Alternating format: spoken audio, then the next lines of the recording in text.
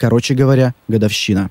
При поддержке группы Vine Video. Сегодня был очень важный день. Ну как важный? Для Насти важный. Для меня стрёмный. Потому что я мог забыть за него и получить люлей. Но я не забыл. Я красавчик. Но от этого мне веселее не стало. Потому что надо было готовить Насте подарок. Сегодня у нас с ней годовщина. Три года. Три года рабства. Ой, сорян, совместной жизни. За эти три года я многое понял. Что стульчак нужно поднимать, а если не поднял, то хотя бы протри. Что нельзя смотреть на других женщин, а если смотришь, то хотя бы сделай это презрительно. Если забыла годовщине, вешайся. В этот раз я был готов. Я продумал план до мелочей врачей, учел все возможные и невозможные риски, но Настя все испортила. Она вернулась с учебы на два часа раньше. Мало того, что испортила сюрприз, так еще и с порога заявила, что все мужики козлы. Я напрягся. Подумал, что это обвинение в мой адрес, но оказалось, что во всем виноват таксист, который ее обрызгал. Поэтому она еще полчаса ходила по квартире и орала на мебель. Потом начала орать на меня, спрашивать, где ее подарок. Я молча на нее посмотрел, сказал выйти из квартиры. Она залагала. Пару минут тупила, а потом решила переспросить, что я сказал. Я сказал выйти из квартиры. У нее начали наворачиваться слезы. Потом она вспомнила, что это ее квартира и сказала, что никуда не пойдет. Я сказал, что это нужно для сюрприза. Она снова чуть не расплакалась. Сказала, что это мило. Я сказал, мило, не мило, но с квартиры ей надо свалить. Она сказала, что у нее грязные штаны и что на люди она в них не выйдет. Сюрприз был под угрозой срыва. Настя сказала, что закроет глаза. Я знал, что она будет подглядывать, потому что сила воли у нее не очень. Я придумал, чем ее отвлечь. Открыл ей приложение Квай. Там можно петь, танцевать, вставлять маски и снимать разные забавные видосы. Настя у меня личность творческая, так что это должно было ее занять на минут 10-15. За это время мы бы успели украсить дом. Как только Настя залипла в приложение, я дал условный сигнал Шурику. Он затащил в комнату шарики, цветы, торт, плакат, шампанское, пиво. Я спросил, зачем пиво? Он сказал, что это ему за работу. У меня не было времени спорить. Мы все разложили. Я сказал Шурику валить из квартиры. Все было готово для грандиозного поздравления. Я позвал Настю. Она не реагировала. Я крикнул громче. Она продолжала снимать видосы. Я швырнул в нее мандарин. Это ее немножко отвлекло. Я стал максимально поздравительную позу и толкнул речь. Она слегка улыбнулась и продолжила дальше залипать в приложение. Я офигел. Взял мандарин, почистил, съел, взял другой мандарин, кинул в нее. Она сказала, что ей и вправду очень приятно, ей все понравилось. Но маска зайчика ей понравилась больше. Следующее, что в нее полетело, это торт.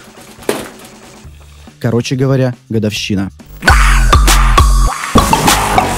Хей, всем привет! Пишите в комментариях, как вы отмечаете годовщину. А если вы любите залипать во всякие приложения так же, как и Настя, то обязательно скачивайте Квай, и в ближайшее время вам точно будет чем заняться. Всем спасибо за просмотр. Пока!